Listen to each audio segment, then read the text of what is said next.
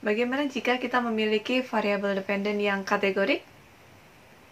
Berikut kita akan bahas tentang regresi logistik.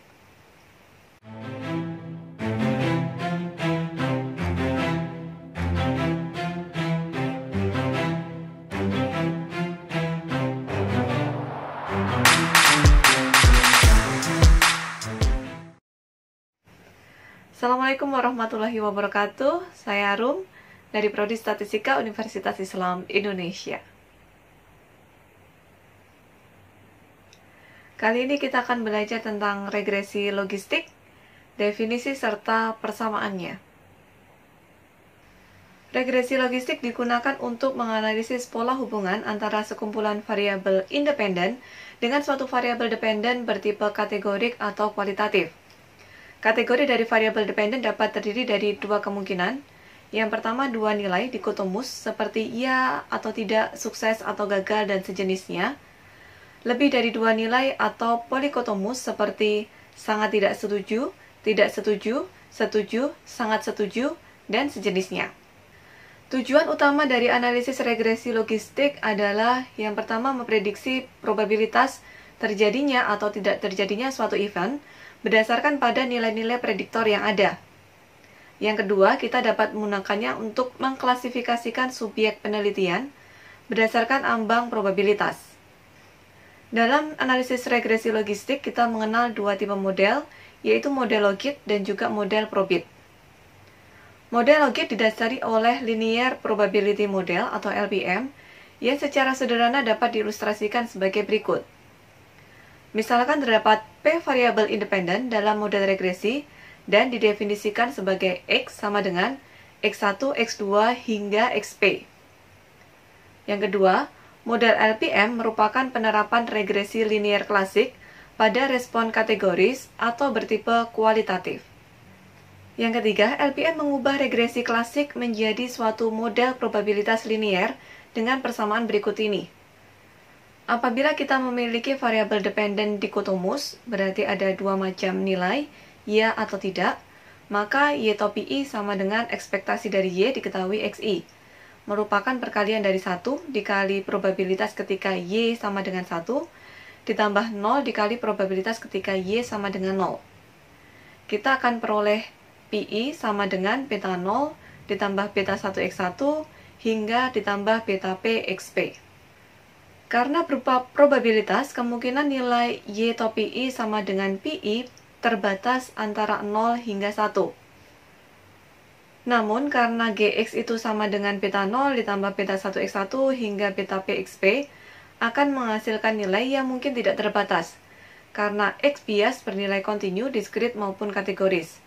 Sehingga terkadang nilai PI, hasil estimasi LTM-nya, berada di luar nilai interval 0 sampai 1.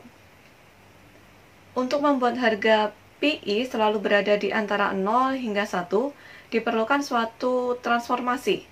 Yang transformasi ini akan memetakan fungsi prediktor linear GX dalam unit interval 0 hingga 1. Transformasi tipe ini diharapkan akan mempertahankan struktur linear model dan menghindari nilai peluang di luar interval 0 hingga 1. Bagaimana kita mentransformasikannya?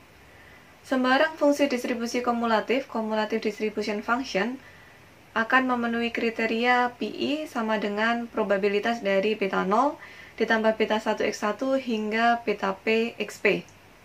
Dengan CDFP dipilih sebelumnya dan beta 1 hingga beta p adalah parameter-parameter yang akan diestimasi.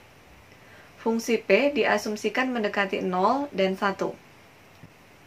Fungsi transformasi apa yang akan kita gunakan? Kita akan gunakan CDF dari distribusi normal standar, yaitu PZ, dan suatu fungsi logistik yaitu lambda Z sama dengan EZ per 1 plus E pangkat Z. Dengan P adalah konstanta 3,14 dan E adalah suatu bilangan natural.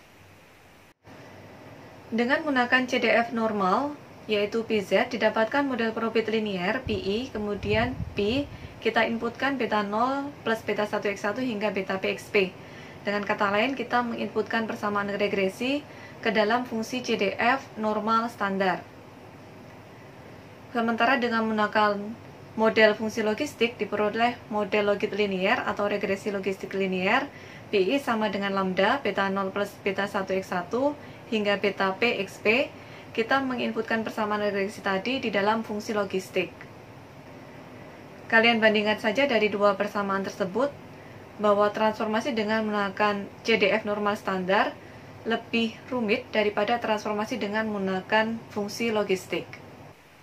Secara umum, transformasi fungsi logit dan fungsi probit ekuivalen nilainya.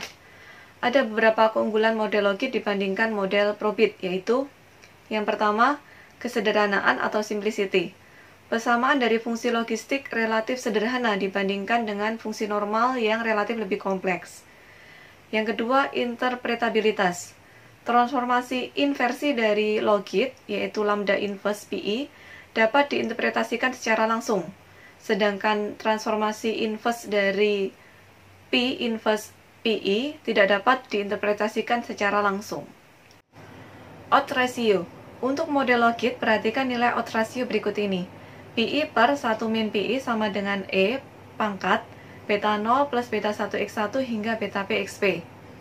Apabila kita melakukan operasi len pada kedua ruas, maka diperoleh LI sama dengan len PI per 1 min PI sama dengan suatu persamaan regresi, yaitu beta 0 plus beta 1x1 hingga beta pxp. Nah, dengan kata lain, len dari PI per 1 min PI itu sama dengan inverse dari transformasi fungsi logistik. Atau kita tuliskan lambda inverse dari P. Disebut juga dengan logit dari P, yaitu nilai log dari odds ratio yang menyatakan perbandingan nilai peluang Y bernilai 1 atau kejadian sukses dibandingkan dengan ketika dia bernilai 0. Uji kecocokan koefisien. Untuk uji kecocokan koefisien di dalam regresi logistik, kita dapat menggunakan uji Wall. Dengan hipotesis dengan hipotesis 0 yaitu beta i sama dengan 0, artinya prediktor secara univariat tidak berpengaruh terhadap model, versus H1 beta i tidak sama dengan 0, Artinya prediktor secara univariat berpengaruh signifikan terhadap respon. Dengan I dari 1 hingga P. P adalah banyaknya prediktor. Statistik uji yang digunakan adalah WI sama dengan BI per SE dari BI dikuadratkan.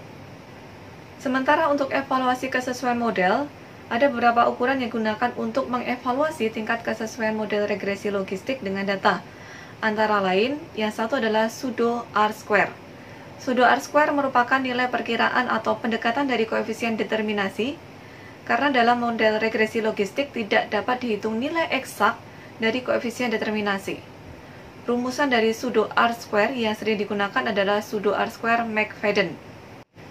Nilai pseudo R-square sama dengan 1 min log likelihood dari fitted model atau model logit yang diamati dibagi dengan log likelihood dari model logit yang hanya mengandung komponen konstanta.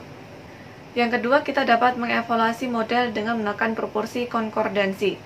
Proporsi konkordansi biasanya dalam persentase, menyatakan persentase secara deskriptif data yang dapat diklasifikasikan secara tepat ke setiap kategori respon oleh model regresi logistik yang terbentuk.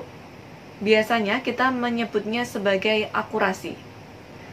Oke, kita dapat menyimpulkan bahwa di dalam regresi logistik ada dua tipe model, yaitu model probit dan model logit. Model probit menggunakan transformasi dari CDF normal standar, sementara model logit menggunakan transformasi logistik. Nah, kita sering menggunakan model logit dibandingkan dengan model probit karena beberapa kemudahan.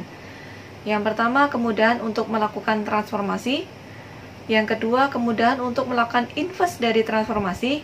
Dan yang ketiga, kemudahan untuk melakukan interpretasinya.